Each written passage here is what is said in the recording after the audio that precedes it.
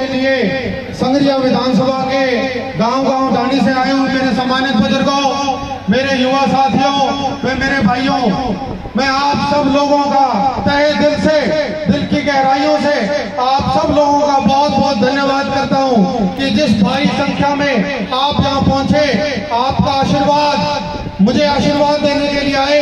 इसके लिए मैं आप सब लोगों का बहुत बहुत धन्यवाद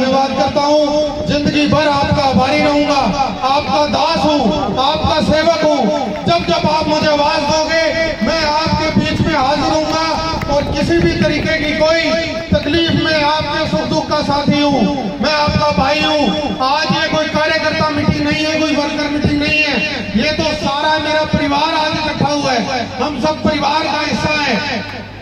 आप सब लोगों का आशीर्वाद मुझे मिला इसके लिए मैं आप लोगों का बहुत बहुत धन्यवाद करता पठम बाज़ार आते हुए वापस पंडाल पावांगा सारे सारा लोग खातर। 2000 पौधा।